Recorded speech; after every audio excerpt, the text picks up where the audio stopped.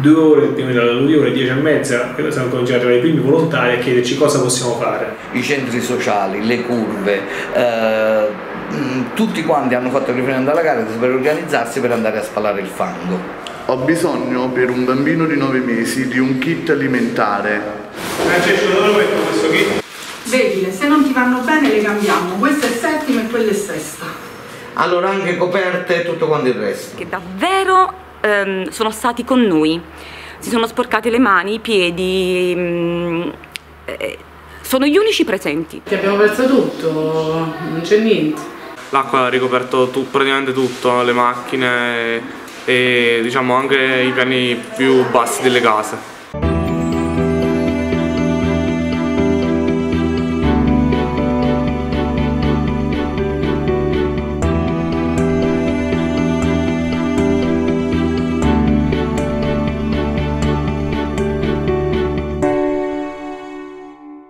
Avete mai avuto il, la paura di non farcela a gestire tutto? Sì, sì, eh, decisamente sì. E ancora adesso non, non, non dobbiamo essere sicuri di avercela fatta.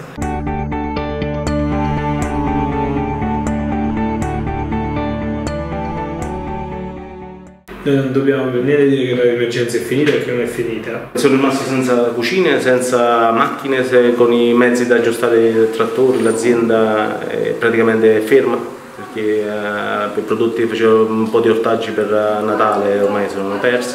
Senti, siete senza acqua? Senza acqua perché poi l'acquedotto qui non c'è, quindi approvvigionavamo con il pozzo ed è andato sotto l'acqua e il gas eccetera e il bombolone se l'era portato quindi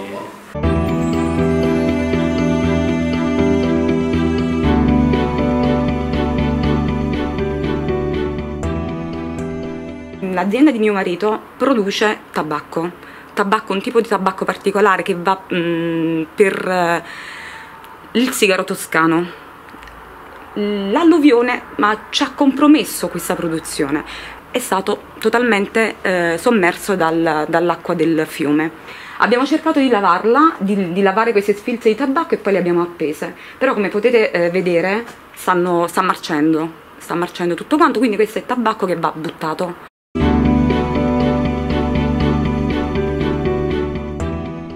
Siamo nei locali che, che la Caritas di Benevento ha a dormitorio, tu, tu, stai vivendo qui da, da 20 giorni dal, sì. dall'emergenza alluvione, perché? Qual è la situazione della tua casa? Perché abbiamo, perché abbiamo perso tutto, non c'è niente. Mi dicevi che ti manca acqua, luce, ah, acqua, luce e gas, quindi non è ovviamente vivibile, no. praticabile la casa. Eh, ti hanno dato dei tempi entro i quali riuscire a... Ma per adesso ancora non mi hanno fatto sapere niente, stanno valutando ancora la situazione.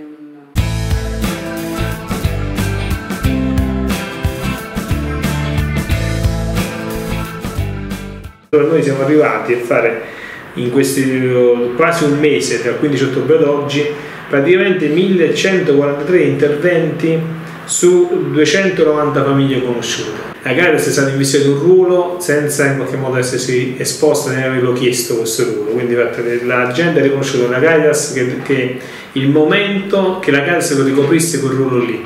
E quindi abbiamo dovuto farlo, diciamo, l'abbiamo fatto perci ci siamo resi conto che non, non potevamo delegare a nessun altro, toccava a noi e basta. E da lì in qualche modo diciamo, tutta questa macchina di personale, di volontari, di operatori ha interpretato un ruolo sociale che doveva in qualche modo portare avanti fino, in fondo. Che mira alla trasparenza e alla, eh, alla sistematicità proprio del, dell'intervento, che non deve essere un intervento parziale, ma deve eh, essere un intervento totale e liberatorio per distruggere quello che dice Caritas Italiana, le strutture di peccato che poi portano anche a perdere la dignità della persona umana. Il giorno dell'alluvione, il 15 ottobre mattina, non sapevamo cosa dovevamo fare. Non avevamo niente, non avevamo pale, non avevamo secchi, non avevamo guanti, non avevamo stivali. Quindi diciamo che quello che è accaduto dal 15 ottobre ad oggi è stato un, sempre un organizzarsi in base alle esigenze, in base a quello che la gente ci chiedeva di fare. Mi dici più o meno quante richieste al giorno ti arrivano? Prima erano tantissime, adesso stanno diminuendo, ma comunque siamo una ventina al giorno, tra mattina e pomeriggio. Le caratteristiche del modello Toscano sono la prima volta l'idea, di un progetto che è stato condiviso con altri, una azione che parte dal basso e non è calata dall'altro, che passa soprattutto attraverso la lettura delle necessità e dei bisogni delle famiglie e delle persone e poi che mira alla trasparenza e alla, eh, alla sistematicità proprio del, dell'intervento. Veramente un qualche cosa che nel sud non, non si era mai visto. Francesco, dove metto questo kit? Lascialo lì dove c'è l'acqua già. Qua? Sì, va benissimo. Questo kit viene dal magazzino, uh, la famiglia una volta ascoltata appunto il centro d'ascolto sopra e una volta appurata le, la necessità di avere un kit alimentare di pulizia, di igiene personale o di vestiario, uh, fa una richiesta tramite la dottoressa e la viene a ricevere al punto di ingresso quando è finito l'ascolto dalla dottoressa. Purtroppo è l'altro aspetto che si sta avendo, c'è uno sciacallaggio a tutti i livelli, c'è uno sciacallaggio che è quello dovuto a mm, imprese che stanno facendo dei prezzi al di sopra di quello che sono necessari, ma soprattutto lo sciacallaggio di chi da fuori dalla nostra regione sta venendo a sversare eh, materiale che difficilmente eh, eh, da, da, da, smaltire e quindi rifiuti tossici rifiuti per tossici farla sì. facile. per farla facile sono rifiuti eh, tossici che, che, molto probabilmente vengono dalla zona della terra dei fuchi La trasparenza mi ha imposto di chiamare subito in ausilio la finanza per eh, la distribuzione dei fondi e su come noi stavamo operando per la distribuzione dei fondi.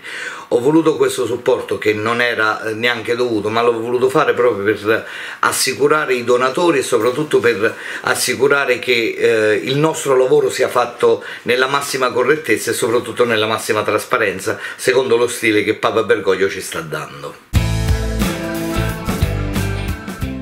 Ieri sera, in un bel momento, 20 architetti sono stati qua in casa fino a mezzanotte e mezza a lavorare sulle perizie che gratuitamente hanno fatto sulle case delle persone che sono vulnerabili al vista sociale e che hanno avuto gravi danni con l'alluvione. Noi abbiamo chiamato dei tecnici, dei ragazzi volontari, architetti, ingegneri, geologi che ci stanno aiutando a monitorare i danni nelle case delle famiglie. Questo ci permette di fare una stima concreta del, dei danni subiti dalle famiglie e soprattutto valutare eh, la spesa per poter far rientrare entro Natale tutte le persone, ognuno nella propria casa.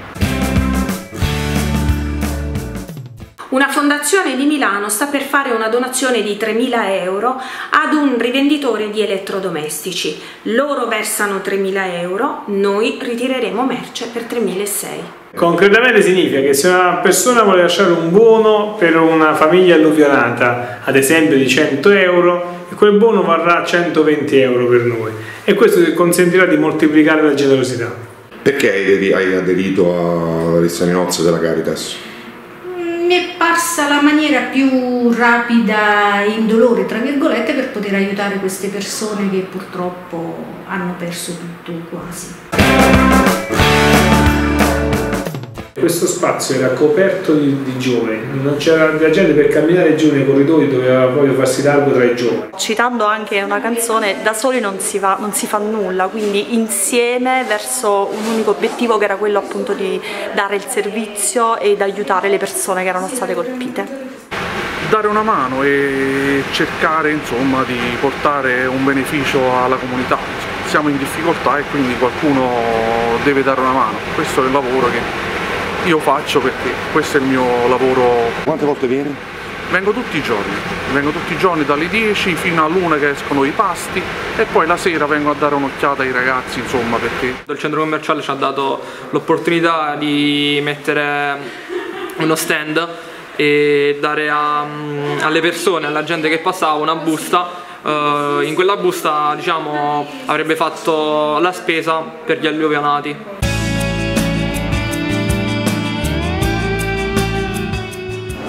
Grazie.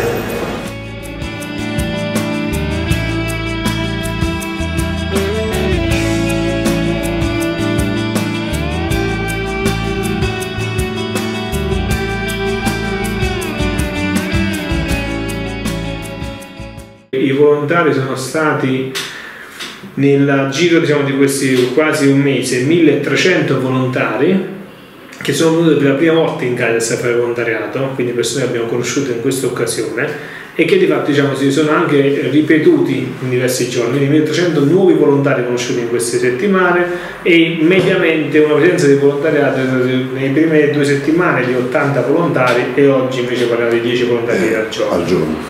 Grazie a questo esercito di gente che si è mossa. Come ti spieghi che siano venuti da voi? Sono, sono tanti. Sì. Come ti spieghi che siano venuti proprio alla Caritas di Benevento? Probabilmente la gente ci osservava e noi non sapevamo di essere osservati. Me lo devo dire perché è una necessità che sento di ringraziare la Caritas, che io non conoscevo. Dal bambino che ha portato il primo giorno alla Nutella, alla vecchietta che ci ha dato i soldi del suo funerale o lo stesso, eh, la stessa azienda che eh, voleva andare via e poi dice apertamente grazie ai volontari della Caritas io voglio ritornare ed assume Marian, un ragazzo moldavo che sta qui in Caritas perché era venuto per dare una mano, questo fa capire che ancora c'è speranza per, per il mondo. Quella notte ci furono due scosse prima, una alle 11 e e un'altra all'una meno 20 e io ero stanca e andai e decisi di andarmene a dormire in macchina. E così mi sono salvata perché la mia casa è esplosa.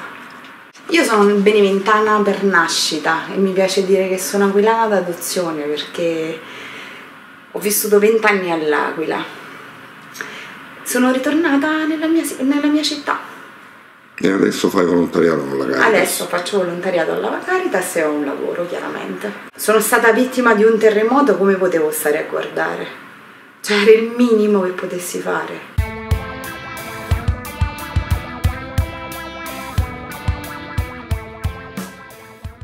Ciao, sono Miriam. Ho saputo della tragedia accaduta a Benevento, mi sono dispiaciuta molto, ma so che ce la farete fino in fondo. Cari ragazzi, mi dispiace per tutta quella pioggia, giuro che farei per voi di tutto per salvarvi.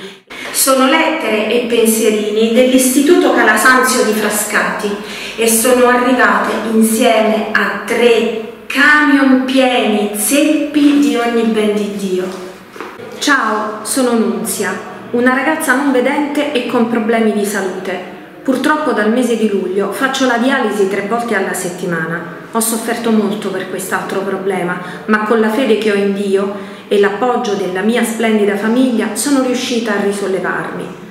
Voglio soltanto dirvi, ragazzi, non mollate, abbiate fede, tutto passerà e splenderà di nuovo il sole. Questo piccolo orsacchiotto possa donare un sorriso a chi in questo momento ne ha bisogno.